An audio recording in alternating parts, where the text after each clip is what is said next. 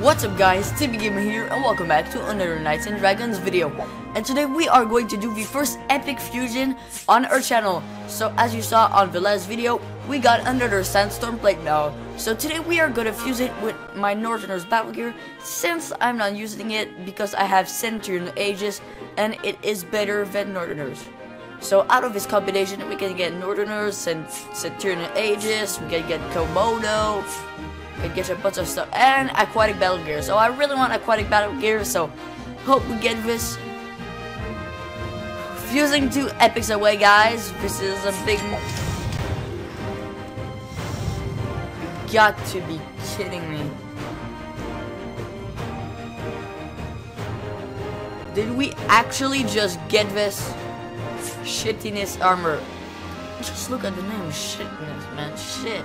So yeah, so mono water. So this is going to be it guys for this video. I hope you guys enjoyed. And tell me in the comments below if you guys want more epic fusions. And I'll talk to you guys later.